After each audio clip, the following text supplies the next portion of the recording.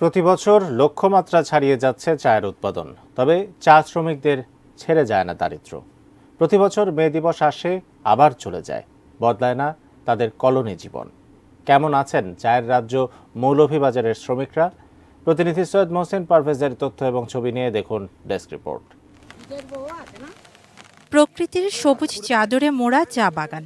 প্রায় দুশো বছর ধরে অর্থকরী চা উৎপাদন করছেন মৌলভীবাজারের বাগানগুলোর শ্রমিকরা।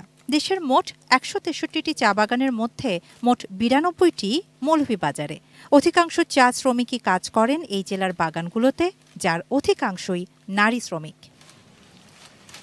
চা শ্রমিকরা দেশের অর্থনীতিতে গুরুত্বপূর্ণ ভূমিকা রাখেন, অথচ আজও ঘোচেনি তাদের বেতন বৈষম্য আর তাদের বঞ্চনা।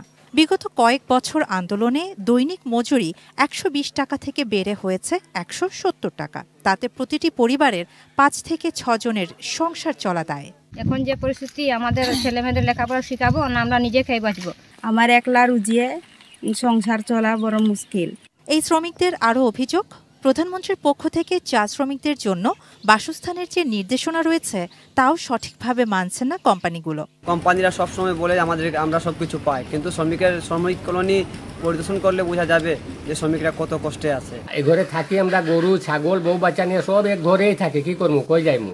একুশ ফিট বাই সাড়ে দশ ফিটের একটা ঘর তারা দিচ্ছে কিন্তু আদতে এটা দেওয়ার কথা মৃত্যিঙ্গা টাইপের একটি ঘর দুই রুম থাকবে বারান্দা থাকবে একদম কিচেন রুম থাকার কথা কিন্তু তারা সেইভাবে ঘরগুলো দিচ্ছে না। এই ঘরের মধ্যে তারা প্রতি ওয়ার্কারের কাছ থেকে ছিয়াত্তর টাকা উপরে টাকাকে কর্তন করে রাখছে। তবে চা শ্রমিকদের কাজের পরিবেশ ফিরিয়ে আনতে এবং সমস্যাগুলো নিরসনে কাজ করে যাচ্ছে শ্রীমঙ্গলে স্থাপিত বিভাগীয় শ্রম অধিদপ্তর এমনই দাবি এই কর্মকর্তার। চা বাগানের শ্রমিকদের দীর্ঘদিনের দাবি হচ্ছে যে তাদের আবাসনের বিষয়টা মাননীয় প্রধানমন্ত্রী এটা সক্রিয় বিবেচনাধীন আছে। নিরাপত্তা, তাদের আবাসন পয় সুবিধা, তাদের আপনার পানীয় জলের ব্যবস্থা এবং তারা যখন আপনার সেকশনে কাজ করে, সেক্ষেত্রে তারা যাতে সুপেয় পানি এবং তাদের যাতে পর্যাপ্ত ওয়াশরুমের ব্যবস্থা থাকে, সেজন্য মালিকদের সাথে নিয়মিতভাবে কাজ করে যাচ্ছি। Shahana Jahan, desk report ATN news